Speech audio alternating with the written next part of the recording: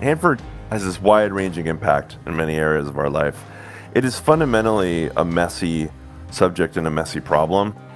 It offers us an opportunity to examine issues that are deeply personal to us, issues of memory and identity, but also our connection to other places and people, our connection to large scale things like atomic weapons and destruction, but also opportunity and science and optimism. That it is many different narratives rolled into one, some of which we're really still figuring out and grappling with. It offers us an opportunity to substantively grapple with these issues in the long term because there are no easy solutions. If there even are solutions, there's just understanding. Welcome to My Nuclear Life. I'm Shelly Lesher. Today I'm continuing my conversation with Robert Franklin, archivist and oral historian for the Department of Energy's Hanford Collection and assistant director of the Hanford History Project at Washington State University. As you heard from the last episode, he brings many personal narratives into his telling of the Hanford Lab. In today's podcast, we will continue discussions on the waste problem, how the B reactor became a museum, and the differences between local and national interpretations of history. Towards the end of the podcast, he tells us about the experiences of African American migrant workers from the South. This is the subject of Robert's second book, Echoes of Exclusion and Resistance, which again uses oral histories, allowing those impacted by the events to tell their own stories. We begin this conversation where we left off in the last episode. Then we circle around to a question I forgot I even asked in the middle of the last episode. But don't worry, it's still pretty easy to follow.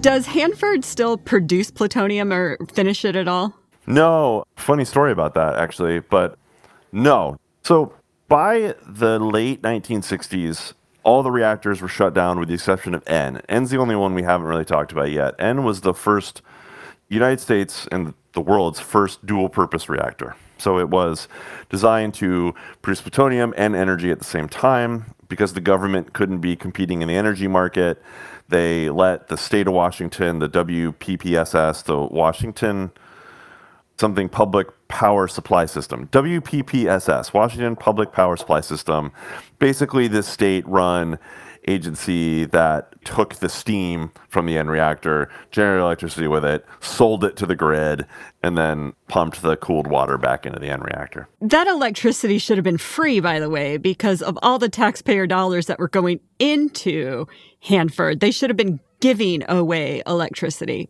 That would just make us all lazy and demand electricity too cheap to meter. Haha. nice call back there. Yeah, thanks. You're welcome so by the late 60s, all the single pass, those eight old guys, they're all shut down. And also, by that point, you know, Johnson administration's winding down, Nixon's coming in. The U.S. realizes, you know, we have a lot of plutonium. We're at the point where it's just kind of obscene how many nuclear weapons we have. It's not really going to do us much to spend money to make more. Oh, shut your mouth. There is no missile gap. Turns out the missile gap was a big lie. You know, if you remember Kennedy's attack on Nixon in the 1960 presidential election. But then Reagan comes in and we need more weapons. Well, I'm getting there. I'm getting okay. there. So, so late 60s. Sorry to jump no, ahead. No, it's okay. It's okay. So late 60s decision is made to shut down everything but N. And part of that is because N is this big semi plowshares type, like look how great we are project also contributes to the national defense. So produces energy and does that, which is really makes those plowshares type people excited. And he just kind of hums along for a while. And then Purex is processing it. Well, people at Hanford start to get really worried about stuff like detente and especially Carter. Carter's probably the most anti nuclear president of the nuclear age. He shuts down the breeder reactor program, which Hanford had built the fast flux test facility, the first breeder reactor, and had all this promise. So Reagan comes in, right, and it's the we got to get tough on Soviets. N had been shut down, and Purex had been shut down. They restart them. They weren't permanently shut down, they were just kind of in like standby. So they restart them, and it's middle 1986. N goes down for some safety upgrades. Pretty average stuff. Then Chernobyl happens. Well, the nuclear freeze movement had been growing. There's all this stuff kind of allied against those that want to keep producing. And this comes at a time, too, where there's greater demand for public accountability. Opponents of Hanford, especially downwinders, had been advocating to be heard. Investigative journalists are starting to pry. And the DOE is faced with this thing of, we got to release some material on Hanford. And critics are saying, N Reactor seems to share some things in common with the RBMKs. They share some design concepts in common, but they're not the same reactor at all. Sorry, what are RBMKs? The RBMK is the Chernobyl type reactor. I forget exactly what RBMK stands for, but it's the design of the Chernobyl reactor. And Chernobyl was a dual purpose reactor as well, it was energy and plutonium. There's significant differences in them, which people that worked at N will tell you. What happened at Chernobyl could not really have happened at N, but that didn't do anything to appease people that one wanted to end nuclear weapons, were concerned about Hanford's releases, were concerned about the safety of the N reactor. You know, Windscale had proved that these things could go south really quickly, and then Chernobyl really proved that these things could go south really quickly.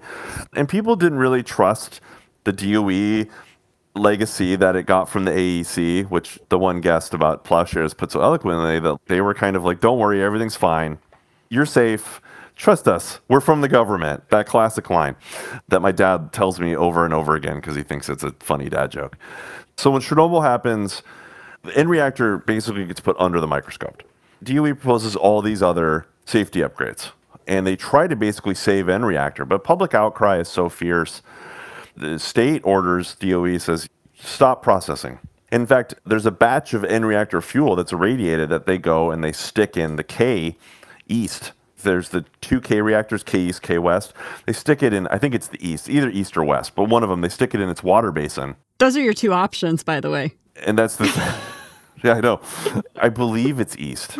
Those reactors are both still somewhat standing because it's tough to remediate them because of all of that spent and reactor fuel that was there that's now been taken care of with the sludge problem I talked about earlier with the T plant. But they basically stick that there and say no more processing. Purex and PFP still have enough fuel and stuff to do for a couple years, but by 87, 88, everything's winding down. They process the last of what they got. It makes its way through Purex and then through the finishing plant. They kind of wrap up all the loose edges, and by 89, 90, that's it. Everything's stored in the plutonium vault, which is just this vault in the side of Gable Mountain. Hanford transitions right away into cleanup with the tri-party contract, which was an agreement signed between DOE, Washington State Department of Ecology, and the EPA. And that's the framework for cleanup that we live under today, is this agreement that was signed. And basically, the federal money and the federal dollars transitioned right over. A lot of people in the Tri Cities were worried that it was the end, the economic depression was coming, home prices were shattered there was kind of a one-two because Washington Public Power Supply System embarked on this massive project to build five power reactors in the 1970s and 1980s. They built one fully. They got one with a containment dome on, and then they built another one 30%, and it went bankrupt. It was the largest public bond bankruptcy in history until the city of Detroit went bankrupt in 2016. Wow it's a traumatic thing for people that have been here a long time. They, you say whoops. It's WPPSS, and everybody calls it whoops. Although you know people don't like that. It's one of those other things that old timers don't like because it's the joke. Whoops, we went bankrupt, and that was a huge shock. I mean, that had pumped in so much money, and when that project went bankrupt, it really hurt the Tri Cities. And then when Hanford went up, that's when Hanford had to go, and the Tri Cities had to go with being we're contributing national defense to like you got to clean this up this is the most contaminated place in America. And that machine went into overdrive. And in some ways, now it's kind of a victim of its own success. There's so much scrutiny. Hanford is such a, this rap of this irradiated wasteland in some places. And a lot of that is because without that fear of imminent danger, the cleanup money might get cut. The biggest thing that, that worries people is when one administration or another says, well, we should reduce Hanford's budget. That's a lot of the budget of the DOE. And people here scramble to save the money because one, the cleanup work really does need to get done. I mean, that's a given. But two, there's that more cynical argument for jobs and all of that. And you can argue how effective is that cleanup work. We still don't have an operating plant. Part of that is because of the stuff I mentioned earlier, how complex the waste problem is. But also, you got to wonder, you look at the amount of money spent, and the progress we made so far, and you got to wonder, like, seems like there's a lot of inefficiencies because there's all this government contracting, and the contracts keep getting lent to these big companies like Lockheed and AECOM, which is GE, and all these other big companies that form small companies, temporary companies to bid on contracts. It's part of this defense contracting cycle that you can't help but feel is just a little inefficient. And that's where we are today. There's this special challenge of nuclear, and I think that's why when I first heard about your podcast, I was really interested in it because you're talking about discovering the ways in which nuclear things touch our life. And I don't know if there's anything that quite captures our fear and imagination as much as atomic stuff does. The way it intersects with nerd culture to engineers, science, physics, politics, geopolitical things, the military. I mean, it, it really. It's everything. It's everything. It's one of the few things that really, really is this expansive and frightening and personal, but yet highly unpersonal. And that adds that special element. It's what to me makes atomic history in Hanford and Hanford's role in it so fascinating, but it also makes it really hard to grapple with. And I think trying to find solutions for atomic nuclear issues, especially waste, is even more complicated than any other industrial waste because of the way that it touches all our lives and all these aspects. Yes. And I didn't actually expect to go into waste because that's like a whole nother it's a huge okay, that's a whole other podcast. That's a season. That's not even yep. that's a yep. season. Yeah. But uh, that's what Hanford's known for now. I mean, it, we can't escape the fact that that's also what Hanford has over Los Alamos, Rocky Flats, Oak Ridge is we have the legacy and this big problem. We got off track, but we were talking about how Hanford was actually started to become a museum by the local folks. So let's pick up there.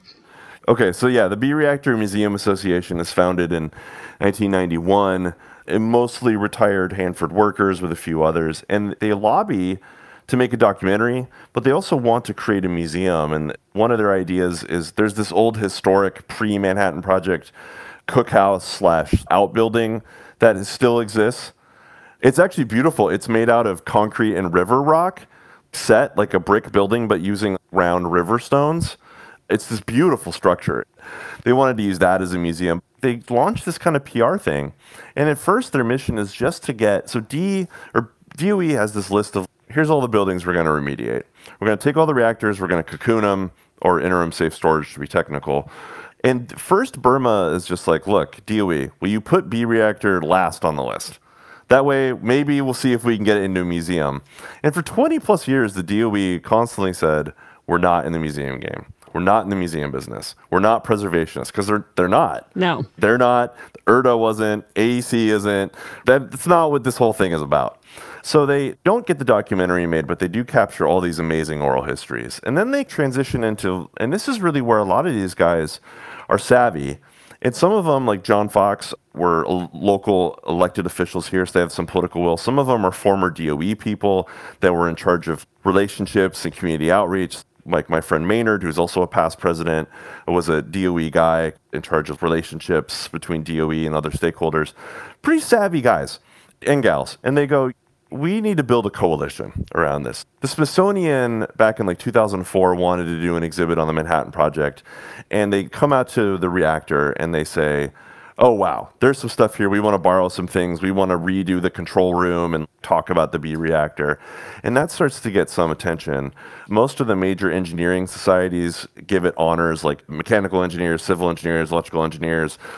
They write a National Register of Historic Places nomination form for it, and they eventually get it to become a National Historic Landmark, which is the highest honor a building can have in America. And it actually confers some level of protection on it. Finally, the NPS, National Park Service, is like, okay, there might be something here.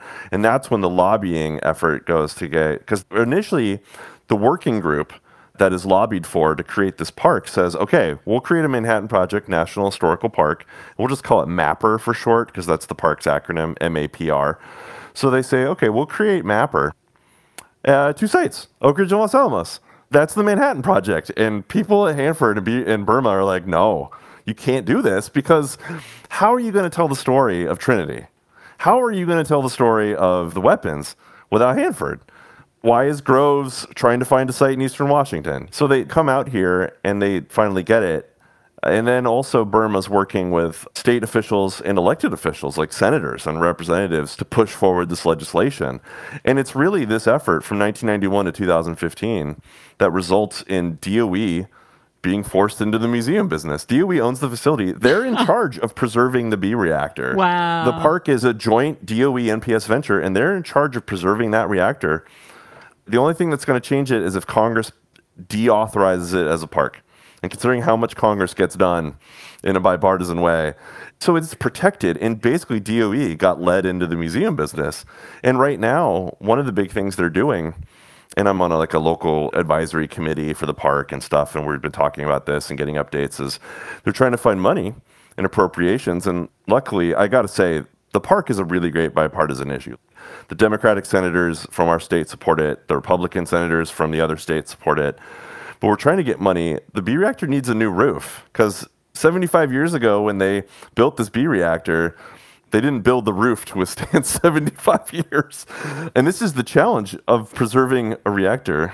They probably didn't think the B reactor was going to last that long. Absolutely not. They were building it to end the war, and that's all. They were thinking five years, right? Right. And I, I would love to go and get somebody who had just found out in 1945, just found out what the B reactor did, and bring them now and be like, yeah, little kids can come here we can bring in Iranian nationals into the park. It's a national park. So Russians could come here uh, and tour it, take a great tour, just like anybody else.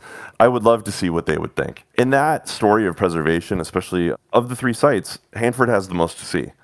We have this tour program, we have these facilities that are open. If you take the tour, which tours are free, you just sign up and travel here. And it's really amazing that these mostly retired folks won that fight that's not a fight that you win. Turning a nuclear reactor into a museum, that takes some real dedication. Absolutely. Did you find in your role that there's a difference between what a local organizing committee thinks is important and what, say, a national park or a, national park service think is is important? Like that interpretation. So, how do you strike a balance between a local interpretation and a national interpretation?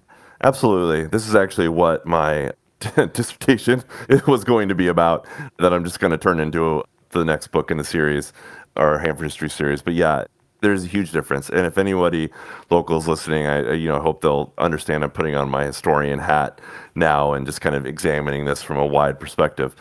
Yes, there is a difference. The Tri Cities because of its close connection with Hanford, has really personalized Hanford's role in the Manhattan Project in World War II in a way that I think people outside of the community would have a hard time understanding.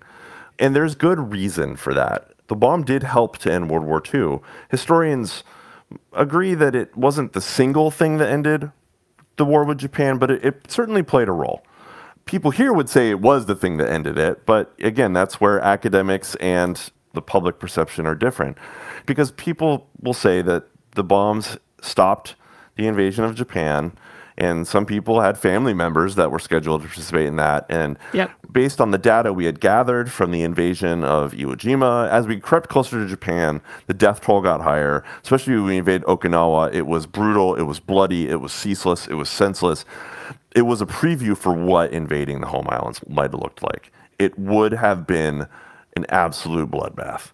We should be lucky it never happened. Absolutely, yeah. And anything that helped avoid that is a good thing. Just like Hitler not having the bomb is an unqualified good thing. The other argument is that, yeah, we were just talking about how many lives the U.S. was going to lose when we were attacking Japan. We didn't take into account all of the innocent women and children that the bombs killed. Right. Of course. I agree with you. But the local view of that is kind of like, well, that's war. They bombed Pearl Harbor. That's often brought up. Bataan Death March. Look at all the Chinese women and children that the Japanese slaughtered in Nanking. I mean, the Japanese won't even admit that that happened. Still, like they won't teach it in their history books. I'm saying that that's what people will say. Like, look, it's war. Civilians get hurt. So it's a very American centric narrative that is told locally. Yes, and it's that the bomb saved lives. It moved from the bomb averted this thing to the bomb saved X lives. Oh. It was a force of moral good because if you look at the calculation and if you agree to the premise that hypothetical lives equal real lives, which you have to have that premise. But if you subscribe to that, like a lot of people do, and not even just here, I think some Americans would, the more patriotic, maybe more conservative leaning people, if you ask them about this issue, that's where they'd fall. They would say, look, we know from the invasion of Okinawa, we can extrapolate casualty rates. The bomb helping in the war saved X lives, some range. Ergo, it's a moral good. Because if the alternative is bomb or invasion, clearly bomb is good. Now, that's a false choice. It's assuming the hypothetical lives are worth real lives. I personally don't. I don't know about when you were in school, but when I was in school, that's also what we were taught. In high school, we dropped the bomb, we won the war, we saved all these American lives, let's move on to something else. No one else was even considered. Right. And Japanese lives. If you actually had to plan an invasion of the Japanese home islands, millions of people would have died had that been carried out. Likely. It's not within the realm of possibility that if that had happened, millions of people would have died. But problem is it's all hypothetical. You have this argument a lot, don't you? Oh, I've thought about this a lot. Yes, I do. I think about this a lot because it's probably the biggest issue, this biggest theoretical, hypothetical issues surrounding Hanford. And I live in this community that, I mean, look, the mascot of Richland High School, I wasn't going to get here quite yet, but uh, just to prove a point, the mascot of Richland High School, for those of you that aren't familiar, that's Richland is the atomic town that's connected to Hanford. They're the Bombers. Now, there's been attempts to have that mascot be a B 24 bomber, but the logo is a mushroom cloud with an R underneath it. And so the Bombers refers to a bomb, the Nagasaki bomb, that killed about 80,000 people the logo of that is a mushroom cloud, is a, a toxic, deadly cloud of radionuclides and incinerated people uh, floating around. And that, to me, as an outsider, that's akin to like being Johnstown AK 47s. you know, I mean, it, it's right. macabre, but Richland changed their logo from the Columbia High Beavers to that bomb at the end of the war to celebrate. But to go back to your point about you being taught, I was taught the same thing that the bomb helped end World War II, it brought the war to an end, it stopped the brutal war. The government had a vested interest in framing that narrative. And when you look at speeches by Stimson, Truman's Secretary of War, and Truman later himself, initially they relied on the numbers that the military had drawn up for American casualties and Japanese casualties. Initially, they stick to those numbers, but in the late 40s and early 50s, as they get asked about this question or they opine on it, they're in interviews, they're talking to reporters, they just start to escalate the number. And they just kind of throw out bigger and bigger numbers, and it becomes this accepted fact that it saves, by the end of it, it saves millions of people. And you can actually go back through their speeches you look at that revision, and Truman and Stimson and his administration are post revisionists on their own number if you're working at Hanford or you're, you're patriotic American, and you were because we won World War II, you had helped that. Now you're helping the United States in the Cold War. You're afraid of Russia and communism, and maybe you don't know quite as much about it, but you don't need to know because you live in that era. Right? You're a person of that era. You're just a normal person.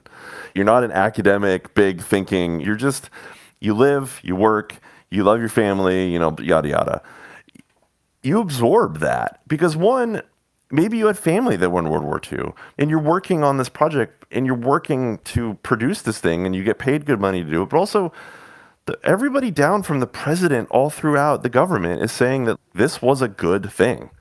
And so that narrative, it becomes we can challenge it, we should challenge it. We should complicate it because clearly the bomb did not by itself win the war. Sorry, everybody. It wasn't a singular thing. It was a very complex situation with many moving parts. And that's the messiness of history. And we have to make history messy. But it's easy to understand why that narrative holds traction and why people believe, some people believe the bomb is a force of moral good. Now, getting back to your question, the local community wants to embrace the science and engineering aspects of the B reactor. A lot of the stuff I wowed you with, because there is a lot of wow there. It is a science and engineering achievement. The reactor, Hanford itself, it is from that lens, it is amazing. It is a major achievement of mankind. But there's all these other issues that orbit that or that are in conflict with it, in communication with it. you can't escape them. But some people try to escape it. And by focusing single handedly on science and engineering, they want to avoid the messy survivors issue, the Hiroshima, the Nagasaki issue, the, any criticism of the U.S., and by extension, criticism of themselves. They also, though, avoid those that have been harmed by Hanford in the domestic sphere, downwinders, sick workers, who exist, who have been harmed. I mean, Hanford had releases. It has affected people's health. This is a given. That's also complex because when you're talking about health and health metrics, it depends on where people lived, what they were exposed to, their own genetics. But there were affected people. There just are, workers and downwinders.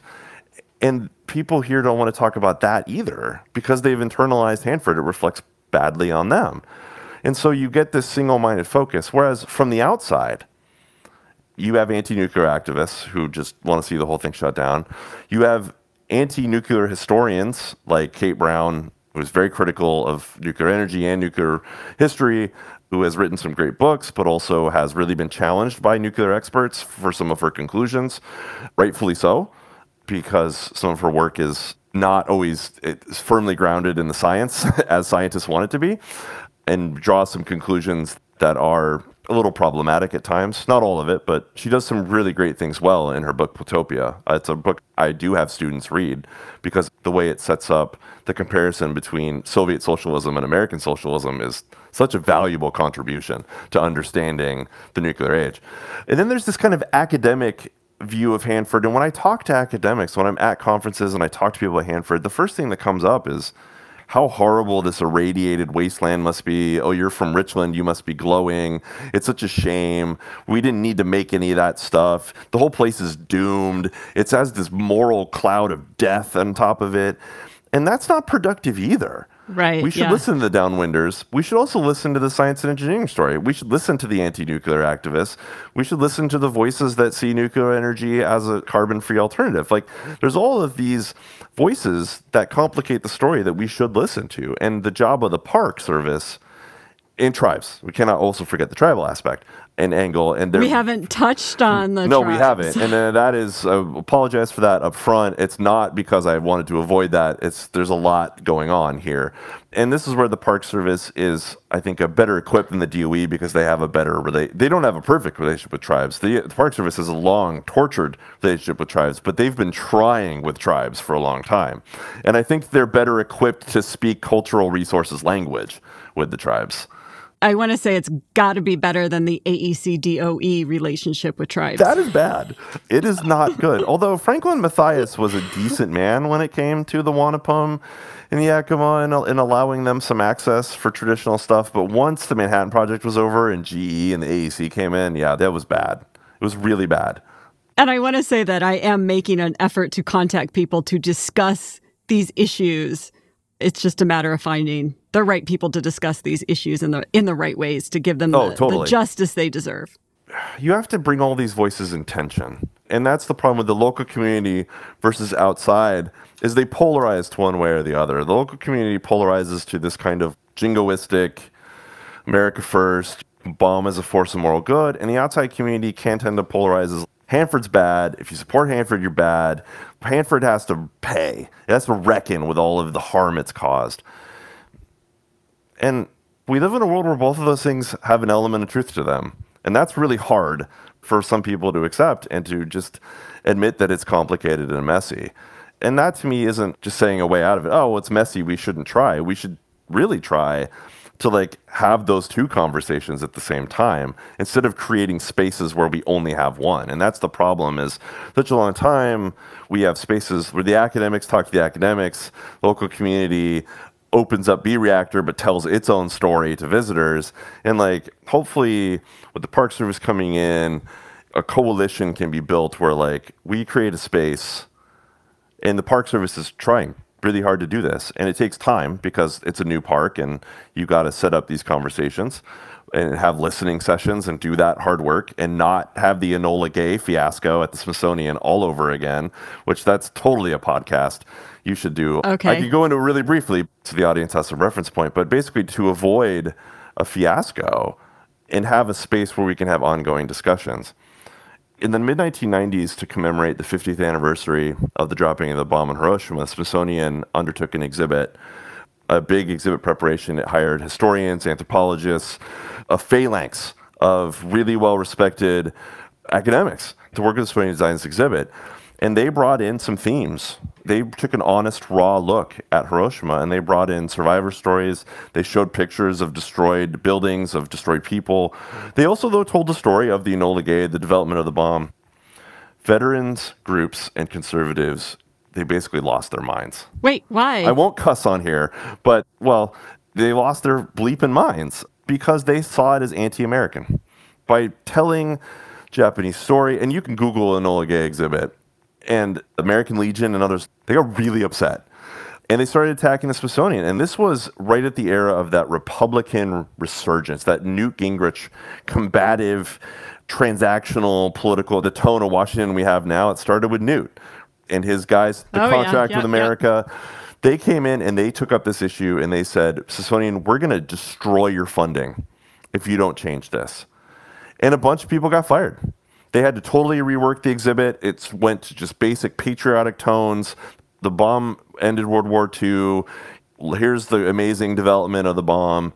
And people got fired, and a couple careers got ruined. I guess looking back, though, that's ridiculous because history has lots of sides and there's so many people involved and so many voices, and you can't just elevate one. a lot of people want to hear good stories. They want to hear simple narratives. I've conducted over 150 oral histories here as part of our Hanford Oral History project. And one of the questions I always ask I end every interview with is what would you like future generations to know about your work at Hanford during the Cold War? Because I don't interview very many Manhattan Project people. If I do occasionally get someone who's like 95, I'll ask them Right. about the Manhattan Project. But it's always usually Cold War people. N- over 99% of them say, I want them to know that the bomb helped win World War II, ended World War II, and saved lives. And I ask people a question about the Cold War.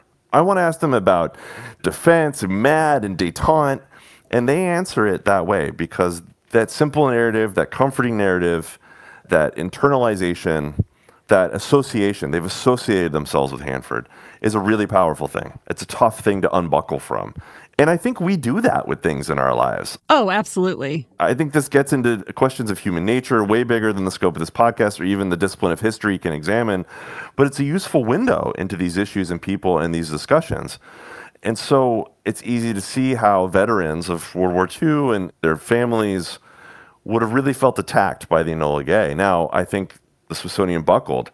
The problem is, is that when I first heard about this park and I got here, I said, "Oh, cool! So we, we've created a park that's basically the permanent theme of the Enola Gay exhibit that the Smithsonian, you know, the people got fired from, and it was all over the headlines. And you know, the Republicans were going to scorched earth destroy the Smithsonian.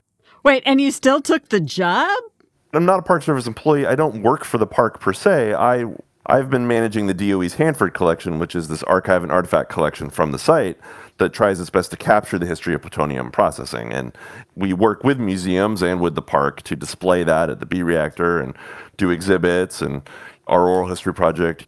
We write academic books about issues surrounding Hanford. But yeah, I mean, I'm involved in that discussion, certainly. And that's why I have this discussion about Hanford's role and the, the role of the bomb. Yeah, I did decide to take that because what a cool thing to reckon with. It stirs up so much emotion and thought in people. No disrespect to any other field of history, but like my master's thesis was on agricultural history. I studied New Deal farming projects. That's personal to me because I grew up in a town that was created by the New Deal and at the Federal Emergency Relief Administration. It doesn't elicit this kind of like, it doesn't affect human history the way that this does.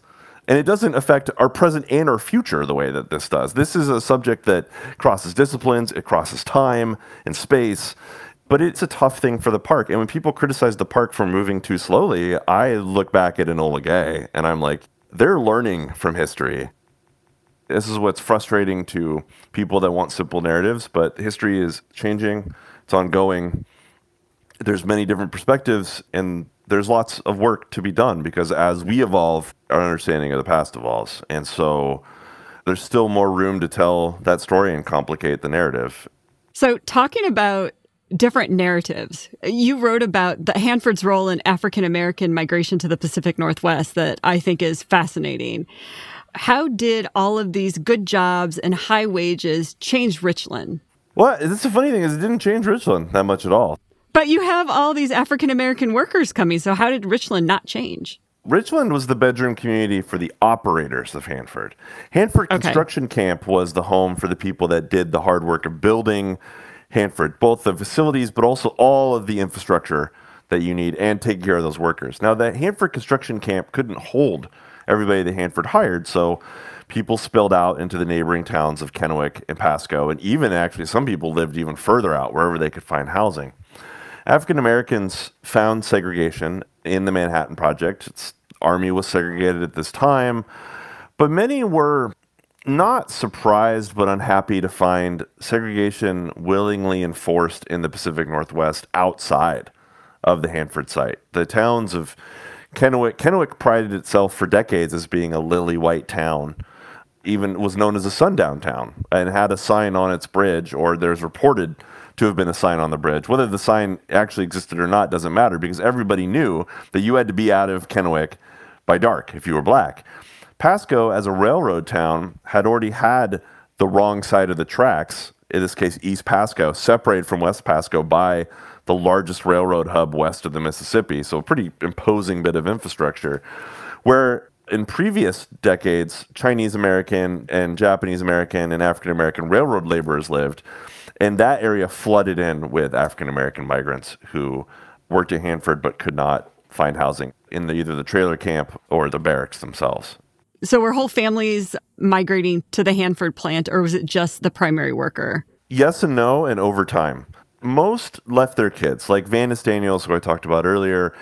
His father came up and his uncle. They left the kids back in Texas, but brought them up in the late 40s, early 50s when they had found semi permanent work here and, and knew they wanted to leave the South as part of the Great Migration. And in this way, Hanford is part of the Great Migration, which is the largest migration in American history. Six million Americans from World War I through 1970 move are internally displaced because of Jim Crow to outside of the South. Many of them leave situations that were violent and economic hardships and find in these new communities many of the same economic hardships and racial violence and segregation that they had left. Very disappointingly. Not surprisingly, but very disappointingly. Because African Americans were savvy enough and knew enough from other relatives or people that had moved north that it was not a paradise, that racial tension very much existed. Pasco, first of all, wanted them all to live in East Pasco, but Pasco actually went to DuPont, the contractor for Hanford, and said, if you're going to hire African Americans, you have to limit it. DuPont worked with the Fair Employment Practices Commission and the, the MED, the Manhattan the Engineer District, to say, well, somewhere around 10 to 15% of our workforce will be African American, and that'll be enough to meet the FEPC defense contractor guidelines, but also not upset the white workforce or really the white surrounding population of the Tri Cities. Because the Southern white workforce that they recruited was used to the presence of African Americans. It was largely the people in the Pacific Northwest that were hostile to interlopers, and they were wary of African Americans moving here because they felt it wasn't their home. Wait, hold on. They weren't upset about Southern white people moving. They were upset about Southern non white people moving in. Yeah, not as much. I mean, some of the old timers were like, we don't want any, you know, these new people are going to change the character of the place, but most of that was directed at African Americans. They felt that African Americans lived in the South. That's what they associated the South with, or that, you know, them with. Like, you live in the South. That's not really the narrative, again, in history class that you're Yeah. taught, right? That Right, no, the South not. is not hospitable to African Americans, but the North, it's this nice place for everyone. The welcoming white North that saw race riots during World War II in Chicago and Seattle and Detroit and Oh, New yeah, that one. That one, yeah. Yeah, those welcoming ones. The Northern civil rights struggle is one of the most overlooked, untaught parts of our civil rights history. The Pacific Northwest, from its very founding, the creation of the Oregon Territory with James Polk in the 1840s, the very first Oregon Territory Constitution barred blacks from entering Oregon Territory, being brought in as slaves or as entering in their own free will. How can you bar a whole group of people? I mean, I understand barring slaves, like that makes sense. But then saying, like, if you're not white, you can't even be here. How do you enforce that? And even when that was created, there were a few black people living in what became Oregon Territory who were like, so does this mean we have to leave? It wasn't enforced, but it existed. And, and early territorial legislature documents show that there was this really attempt to police what would become the racial makeup of the Pacific Northwest. And so that exists from the very beginning, this contentious discriminatory relationship. So DuPont and the DOE, they upset this standard then. Not DOE, remember the, the engineering district. Manhattan District, yeah, the U.S. Corps of Engineers. So they have to hire African Americans. As Franklin Roosevelt, as part of the New Deal extension to African Americans, as early federal civil rights had mandated that if you get defense contracts, so basically early affirmative action law, you have to hire a certain percentage of African American workers because African Americans make up a certain percent of the population. And Roosevelt and the federal government couldn't force private businesses to hire blacks. That would have been unconstitutional right? And it would have been heavily resisted. But he could say, look, you're going to get taxpayer money. Your workforce has to represent the taxpaying base. And this is the story of a lot of progressive laws in our country is the federal government leads, the rest of us follow. Because the federal government can set this tone. And this is also the start, the very long start of the migration from African Americans from identifying primarily as Republican to identifying primarily as Democrat kind of starts in the New Deal, really picks up steam in the 50s and 60s as Democrats embraced civil rights. But this is the beginning, early, early beginnings of that. Another subject I teach about in U.S. history. So, yeah, DuPont says we got to hire them. And Pasco says, look, if you're going to hire them and you want to come here, we ask that you give them all a train ticket back when they're done. You need to pay for them to go back south.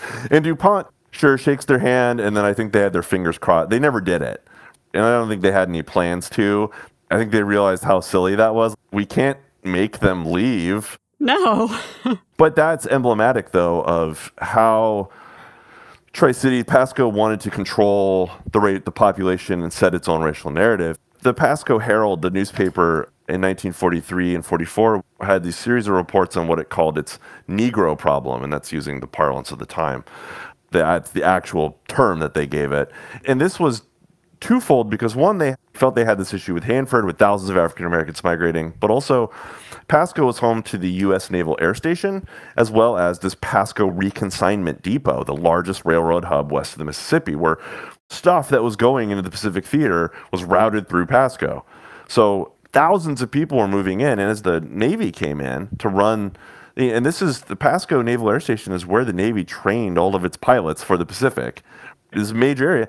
There were African Americans. There were hundreds of African American servicemen that came in to Pasco, and Pasco city leaders were also like, okay, they're on the base. We never had to deal with young African American men looking at white women in the street or wanting to dance with women or trying to go to eat. Because while there had been African Americans in Pasco, the 1940 census recorded 28. That was, I think, to Pasco a manageable number where they could say, well, you know, those are the good ones, you know, they work for the railroad, yada, yada. But now we're talking about thousands of people. When you say 28, you don't mean 28 families, you mean 28 individual people. 28 African Americans whereas by 1950, it's over 2,000.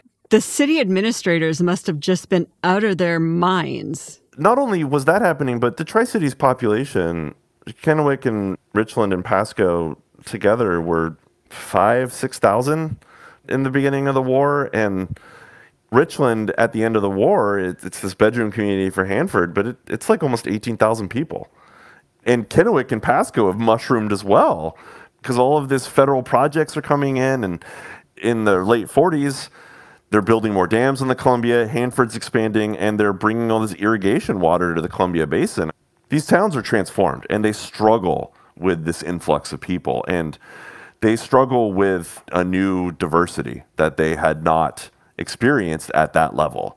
Pasco's really unique. Earlier, I mentioned how Hanford and White Bluffs they have this mundaneish like West history in the arid West, except for the fact that they're ended by the Manhattan Project. Right. Pasco is part of this great migration. And in that way, it's similar to stories in Los Angeles and Seattle and Portland. But what makes Pasco different is one, in 1950, 20% of Pasco is black. That's a larger share of the population than anywhere outside of Los Angeles in the entire West Coast. So per the town, very large black population, 20%. Also, Pasco is the only really rural area in the Pacific Northwest, really in the whole, most of the West Coast that African Americans migrate to. It's almost all urban areas. But Pasco's pretty rural. It's in eastern Washington. It's not a city that most people know. Yeah, I I didn't know it. Yeah, I don't blame you. And so that's unique. That's different. That's this impact. And so you have also this rural area struggling to deal with this major influx of people that it had not had any experience with. And the racism and segregation comes right to the front. I mean, James Pruitt, who I didn't interview, he passed away by the time I started my project, but I we gathered his interview. And I want to say that a lot of my work that came to fruition in the book, the interviews I did, I was aided heavily by the African American community, of the Tri Cities, especially the African American Community Cultural and Educational Society Access. Maybe you could put a link in the description to their website. Just really want to shout them out because they were instrumental in helping me connect with the black community here and privileged me with telling their story. I mean, I feel honored. I'll put a link to them on the webpage. Thank you. I really appreciate that. They were an immense help. But James Pruitt, who was later a leader of CORE, the Pasco chapter of CORE, the Congress on Racial Equality in the 60s. He came here when he was 18 in 1948, and he said, When I got here, I saw the same thing I had left in Mississippi, and I was disappointed and mad as hell. I mean, he immediately recognized it for what it was. Housing that African Americans had was a collection of dilapidated automobile trailers, shacks, sometimes literally shanties. Most houses had no running water Many, if had electricity, had a single light bulb. People up through the 1950s and early 60s were cooking on wood stoves as well as heating their homes on wood stoves. They also uh, had no street lights, had no sewer system. There was no African Americans up through the mid 60s that worked for the city of Pasco, were on the police force. African Americans were generally not hired for permanent jobs with GE. Very few lived in Richland. There were a few exceptions, but they weren't hired as scientists. They were mostly hired as temporary, you know, laborers or maybe janitors.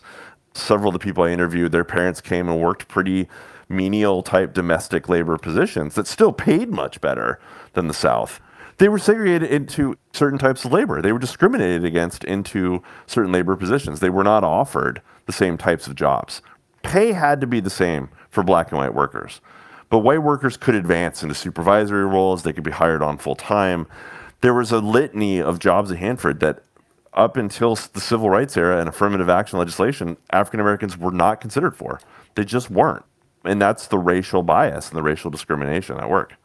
And uh, when you describe these shanties in these towns and this lack of electricity, it wasn't because the workers couldn't afford it because they were making good money. The city of Pasco didn't want to extend those services to them.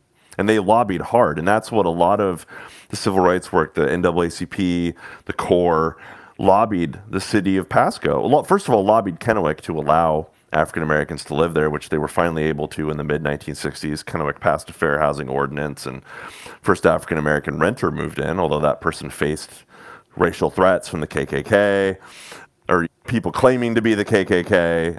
The city of Pasco didn't want to extend those services, and that was the focus of civil rights work here in the Tri Cities was really just to get basic necessities.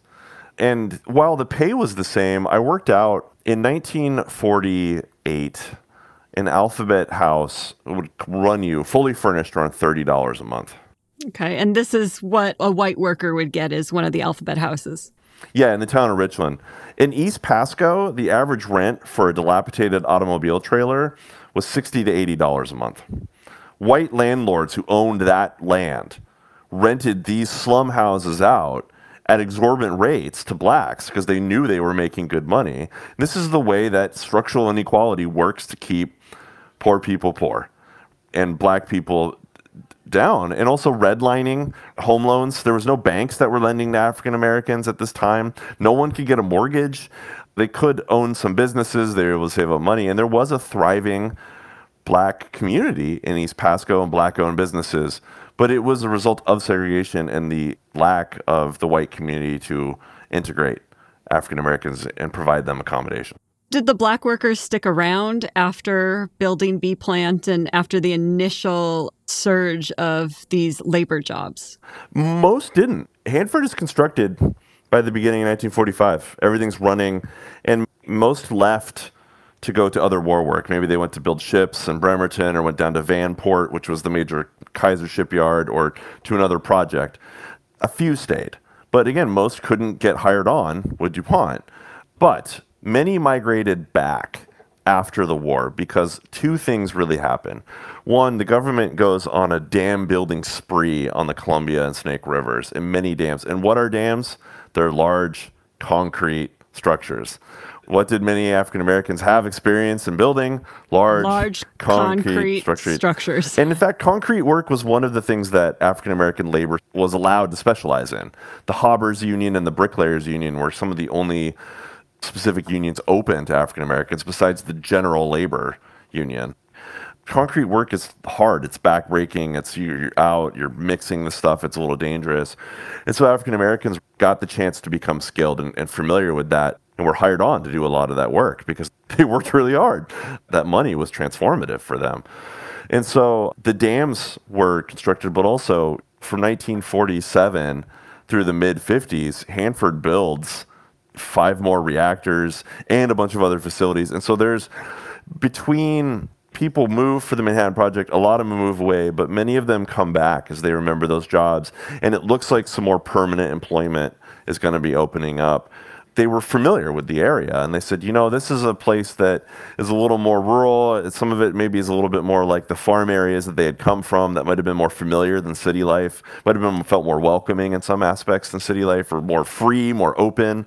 And so many people do come to Pasco and many families. In some cases, whole towns in the South almost uprooted, or the entire black section of town, which in some towns was most of the town for a lot of folks here in doing this project, it's Kildare, Texas was a big one. And Kildare really doesn't exist anymore. It had to incorporate with a neighboring town. And I found one of my co-authors and I found a newspaper from Kildare, Linden, whatever newspaper. It's like eight years old. It's basically an obituary for the town where it was white folks remembering Kildare and saying, yeah, Kildare's pretty much dead now. Everybody moved away. And I was like, yeah, everybody moved away because they were sharecroppers and that sucks and they didn't want to live in East Texas anymore. Your town's dead, and it's hard to feel sad for them. I know they're remembering their childhood and kind of the vibrancy of the town, but it's like that was built on black labor.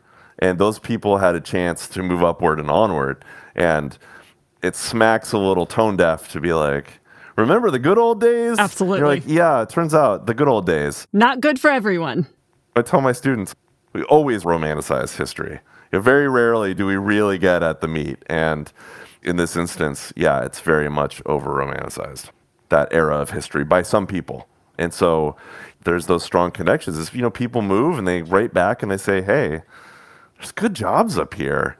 There's some issues, but your kids can go to school with white kids. Schools are decent. You could make enough money to just have a life. Well, then I'm here, right? I'm here, your old neighbor's here. And so you have an automatic community. You don't have to go somewhere and be by yourself. Yeah. I mean, people really escaped crushing poverty. It's hard to imagine how transformative that was, but yet also, though, how disappointing to come and then see we cater to white trade only signs, or to know that you're not welcome in Kennewick after dark. There was more battles to fight, but it was a step in a different direction. When did that change for African American workers and families? It really began to change in the 60s with civil rights, both civil rights activism, and NAACP reactivated their chapter. There had been an NAACP chapter in World War II. Once people had moved away, that had kind of faded. It got reactivated. CORE, Congress on Racial Equality. There was even a very small kind of moribund Black Panther party in Pasco that didn't get a ton of traction, but they were there. That started changing in the 60s with a mix of local activism, but also Hanford's federal, right? And yep. contractors have to follow federal rules. And so affirmative action legislation meant that GE and others, Rockwell and Westinghouse, had to go and hire some black engineers. They had to go to HBCUs and find black scientists, find black engineers.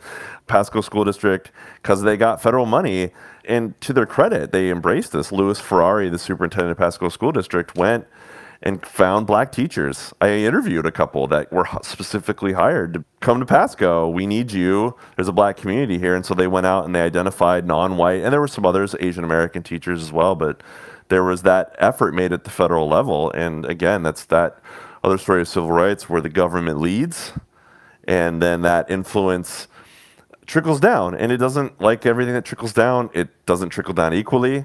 And what starts at the top doesn't all make it to the bottom. No. But you see that start to change.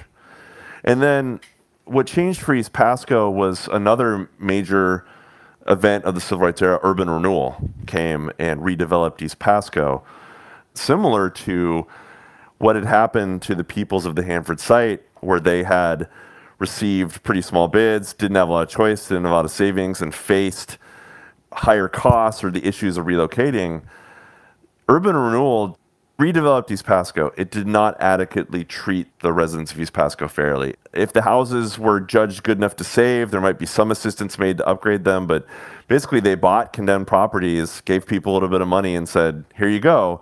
And now they faced a broader housing market where they were in competition with whites. And as they started to move into other areas of West Pasco or Kennewick, that triggered a subject that is touchy for a lot of people and that we don't talk about enough in this country, and that's white flight.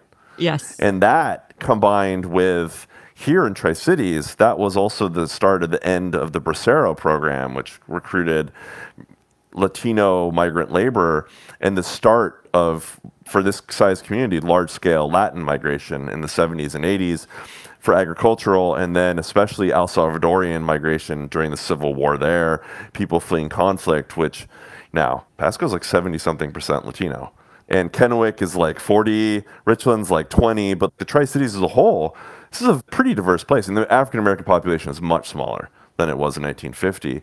And that torch, with those issues, that structural inequality, that kind of latent prejudice, that torch got passed to Latinos. They became the essential workers, but also the people underrepresented in government. Latinos make up 40% of Kennewick, and there's no Latino council people. There's very few Latino police officers. There's that overrepresented in some areas, drastically underrepresented in others. Right. And that me and my my co-author Bob have really kind of identified that as that's the next story of the Tri-Cities. And that's the evolving story. Not so much connected to Hanford, but still connected to these really large processes. And connected to Hanford in that that torch was passed. That burden was passed. I shouldn't even call it a torch, right? It's a burden. It's a burden. Yeah. Unfortunately, it gets passed instead of just ended. And for a lot of the black community, a lot of people's kids moved away seeking, just like millennials and other younger generations have had to move to find they have less secure economic viability. The good jobs of the pensions are gone, but also many of them wanted to seek education. They had more opportunities to go to college, they had more mobility. That black community here has really shrunk it's still here. There are really vibrant efforts of it. Every year, Pasco has a pretty great Juneteenth celebration. The community shrank, but the issues are still there. I mean, the issues, all the stuff that this summer kicked up that have always been here, that I should say kicked up, that brought fleeting light to by the media, the stuff around George Floyd that I think we've all almost kind of forgotten about again, as we are wont to do in this country, that brought up that those issues are still here and that they're now shared among other groups, including a group that, you know, in Pasco is actually the majority of citizens who have some representation in Pasco, but still, though, largely this history of Hanford is and the people driving Tri Cities history and a lot of the movers and shakers in this community are, still white. And so there's still that kind of racialized history here. So I'm going to end uh, with your question. Uh, what would you like future generations to know about your work at Hanford? How dare you? What would I want them to know? You've never thought about this? You asked it to hundreds of people and you've never? No, I have, but it changes all the time. I would want people to understand that Hanford has this wide ranging impact in many areas of our life. It is fundamentally a messy subject and a messy problem. It offers us an opportunity to examine issues that are deeply personal to us, issues of memory and identity, but also our connection to other places and people, our connection to large scale things like atomic weapons and destruction, but also opportunity and science and optimism, the Manhattan Project. that it is many different narratives rolled into one, some of which we're really still figuring out and grappling with. It offers us an opportunity to substantively grapple with these issues in the long term because there are no easy solutions. If there even are solutions, there's just understanding. And so Hanford, especially the Cold War, offers us that. We have so much more. The Manhattan Project's neat. It's got this nice little beginning and end point. It had a product it produced. It, we can all feel a certain way about it because we, we like that certainty of story. We're still being shaped by the Cold War. It's maybe not even ended. It touches our lives and will continue to do so. It ended, but not really, because. Yeah, the historians like to have a date get ended on this day, but it's like, eh, has it actually ended? I would say it shifted in the late 80s. I would say it shifted its tone and it shifted, but the conflict was still there. It just went a little colder, but also we t- turned it into this kind of neoliberal, globalized world, and those issues just got imported. They kind of mutated in that and expressed themselves in different ways, like some sort of mutated gene, but it's in there, it's the DNA of our lives. That's pretty good for just thinking that up on the spot. Yeah, it's pretty good. but that's what I'd want them to know. I'd want them to understand that we have a lot more reckoning to do with the Cold War and that the story of Hanford it begins in the Manhattan Project, but to me it's this really profound Cold War story. It touches on issues of race, it touches on these world issues. It's also though touches on really personal and it can become personal because it touches people. It touches people that work there, it touches the people affected by it. It's complicated. It's messy, and that's why it's great. Thank you for listening. I had a really great afternoon speaking with Robert, and I would like to thank him again for taking time out of his busy schedule to record with me. I would also like to thank Lexi Weghorn for all of her help with this podcast. There is actually more material not included in these two episodes, believe it or not, and you can access it and other bonus material using Patreon. The link is in the show notes, as is our website. Please send us email at mynuclearlife at protonmail.com and rate and review us wherever you listen to podcasts. And, of course, tell a friend. Until next time, I'm Shelly Lesher, and this has been My Nuclear Life.